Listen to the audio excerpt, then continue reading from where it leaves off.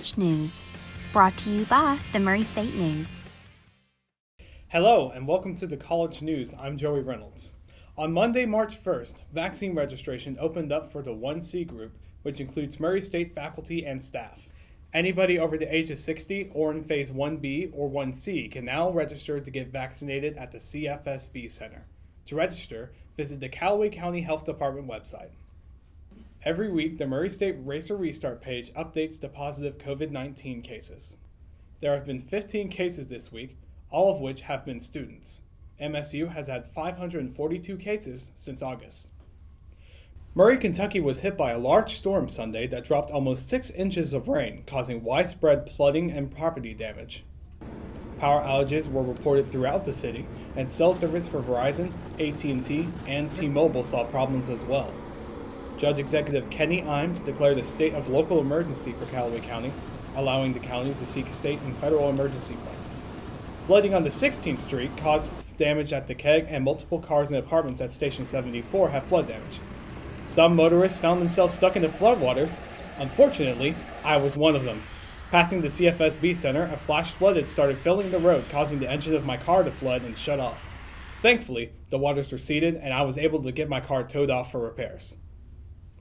Football is back. The Racers opened up their season by hosting the Skyhawks of UT Martin on Sunday, February 28th. The Racers were about to take a 7 3 lead in the fourth quarter on the backs of their defense, but then a two hour lightning delay brought the game to a halt. But Murray State came out of the delay, holding on to the momentum, and came away with a 14 10 win to kick off the Dean Hood era. The Racers will return to action on the road when they take on SEMO at 2 p.m. on Sunday, March 7th.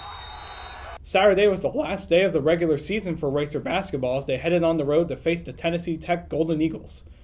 The women's game turned into an absolute thriller. A really back and forth first half would end up with the Racers down by only one point.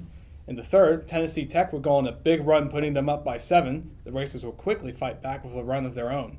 They would end up tied with only two seconds left in the game. It would come down to two free throws by Mana Mensah. Misses the first, drains the second, putting the Racers up by one.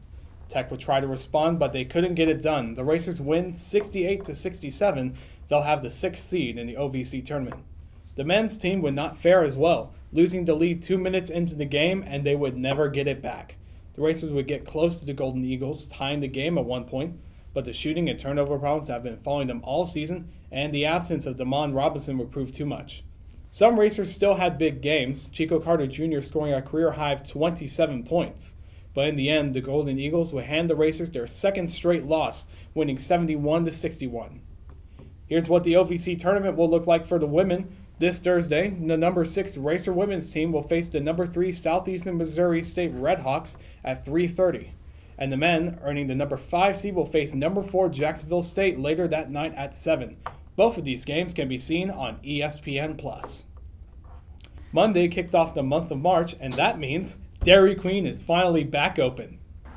It looked a little different than most opening days. There were no lines as patrons stayed in their cars. Due to the COVID 19 pandemic, the Dairy Queen has closed its walk up counter and moved to car hopping.